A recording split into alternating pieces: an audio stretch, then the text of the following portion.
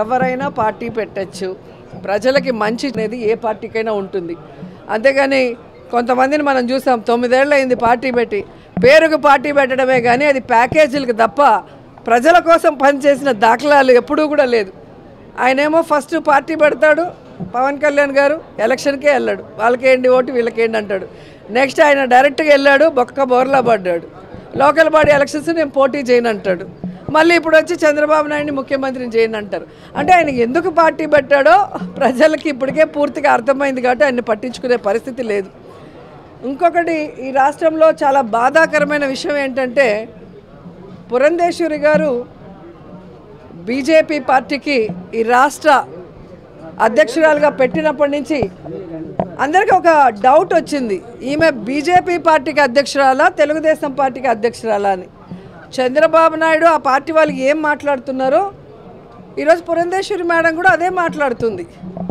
ఈరోజు ఈ రాష్ట్రం అప్పులు చేసిందా అప్పుల్లో ముంచేసిందా లేదా అనేది కేంద్రంలో నిర్మలా సీతారామన్ గారు పార్లమెంట్లో క్లియర్గా చెప్పారు. అంటే ఆవిడ చెప్పింది తప్ప లేకపోతే ప- పురంధేశ్వర్ గారు చెప్తుంది అబద్ధం అనేది క్లారిటీ ఆవిడ ఇవ్వాలి. క్లియర్గా పార్లమెంట్లో మనం చేసిన అప్పు చాలా తక్కువ. చంద్రబాబు నాయుడుతో పోలిస్తే ప్రతి రాష్ట్రం కూడా చేస్తుంది కానీ ఆంధ్రప్రదేశ్లో ప్రతి పైసా కూడా వెల్ఫేర్కి డెవలప్మెంట్కి పారదర్శకంగా ఖర్చు పెడుతుంది. ప్రతిదానికి లెక్క ఉందని క్లియర్గా చెప్పిన తర్వాత కూడా చంద్రబాబు నాయుడు లాగే ఆవిడ కూడా అబద్ధాలు చెప్తూ చంద్రబాబు నాయుడిని ముఖ్యమంత్రి చేయాలన్న ఆలోచనలో ముందుకు వెళ్తున్నట్టుంది. అదేదో వాళ్ళ నాన్న పెట్టిన పార్టీ ఆ నందమూరి కుటుంబం తీసుకొని దానికోసం కష్టపడితే ఎవరు కూడా బాధపడే పరిస్థితి ఉండదు. కాబట్టి ఇప్పటికైనా పురంధేశ్వరి గారు అబద్ధాలు చెప్పడం మానేసి కనీసం ఈ రాష్ట్రానికి ఏదైతే విభజన చట్టంలో ఉందో అవి రావటానికి కేంద్రంతో ఫైట్ చేసి అలాగే ప్రత్యేక హోదా కోసం ఫైట్ చేస్తే అందరం కూడా ఆంధ్రప్రదేశ్ ప్రజలు ఆమెని హర్షిస్తారని కూడా ఈ సందర్భంగా తెలియజేసుకుంటున్నాం. అండ్ ముఖ్యంగా చంద్రబాబు నాయుడు అసలు ఎంత విచిత్రంగా తయారయ్యాడంటే అధికారంలో ఉన్నప్పుడేమో ఆయనకి ఆంధ్రప్రదేశ్ అభివృద్ధి కానీ సంక్షేమం గుర్తురాదు. అపోజిషన్లోకి వచ్చేందుకు అవన్నీ గుర్తొస్తాయి. ఆయన నిన్నేదో పెద్ద లెక్చరర్ లాగా బోర్డు మీద వేసి చెప్తాడు ఈ నదులు ఇక్కడ కలపచ్చు ఈ నదులు ఇక్కడ కలపచ్చు అని. మరి పద్నాలుగేళ్ళు ముఖ్యమంత్రిగా ఉన్నప్పుడు గాడిదలు కాస్తున్నారా?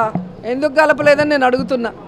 జగన్మోహన్ రెడ్డి గారు ముఖ్యమంత్రి అయిన నాలుగు సంవత్సరాల్లో రెండు సంవత్సరాలు ప్రపంచమంతా కూడా కోవిడ్తో సమ్మె స్తంభించిపోయింది.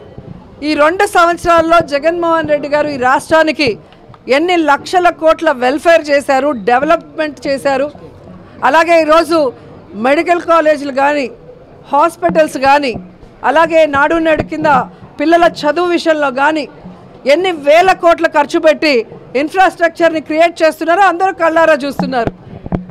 అయినా ఆయన తెలియనట్టు ఈ రెండేళ్ళు ఎందుకు కట్టలేదు అని అడుగుతాడు. మరి పద్నాలుగేళ్ళు నువ్వు ఎందుకు కట్టలేదు? ఎందుకు నదుల్ని అనుసంధానం చేయలేదని నేను అడుగుతున్నాను. చంద్రబాబు నాయుడికి అధికారంలో ఉన్నప్పుడు నిధులు అనుసంధానం చేయడంలో చాలా ఇంట్రెస్ట్గా ఉంటారు. అదే అపోజిషన్లో ఉంటే నదులు అనుసంధానం చేయాలని మాట్లాడతాడు. ఈరోజు ఈ రాష్ట్రంలో ఉన్న నదుల్ని అనుసంధానం చేయకుండా నువ్వు అధికారంలో ఉన్నప్పుడు ఏ విధంగా వేల కోట్లు దోచుకొని హైదరాబాద్లో ఈరోజు ఆ నిధులన్నీ అనుసంధానం చేసి ఏ విధంగా నువ్వు ప్యాలెస్ కట్టుకున్నావో ప్రజలందరూ కూడా గుర్తించారు కాబట్టి నిన్ను తరిమి కొట్టారు. ఇప్పటికైనా ఈ పిచ్చి మాటలు పిచ్చి చేష్టలు మానేసి కనీసం ఇంతవరకు నేను ఏమీ చేయలేకపోయాను పద్నాలుగేళ్ళు ఈ రాష్ట్రానికి నన్ను క్షమించండి. భవిష్యత్తులో నేను ఏదైనా చేయాలనుకుంటే ఏం చేస్తానన్న ఒక క్లారిటీ ఇస్తే అప్పుడు ప్రజలు ఆలోచిస్తారు కానీ ఇలా అధికారంలో ఉన్నప్పుడు ఒక మాట అధికారం లేనప్పుడు ఒక మాట మాట్లాడితే ఇరవై మూడు సీట్లు కూడా ఒక్క సీటు కూడా రాదని కూడా తెలియజేసుకుంటున్నా.